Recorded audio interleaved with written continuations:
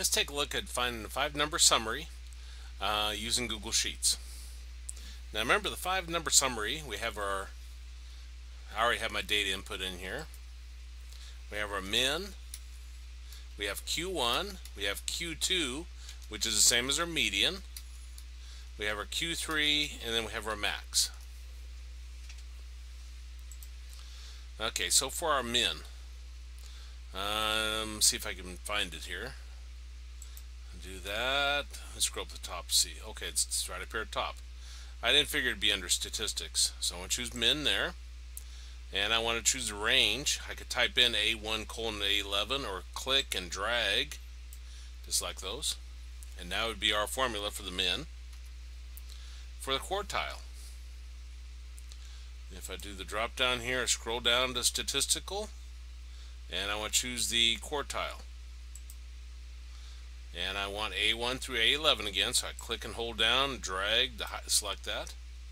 Comma 1 for first quartile. For a second quartile. Um, choose my function choose statistical choose quartile.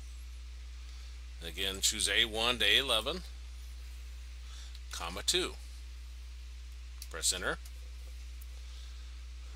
choose my um, function, choose statistical, choose quartile, click and hold down, and then comma 3 for third quartile.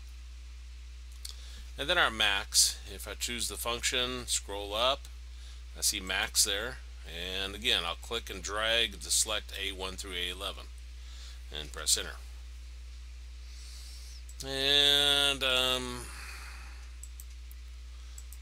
center everything.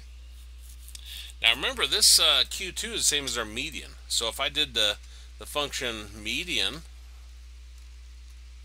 and did A1 colon A11, see how it also gives us 31.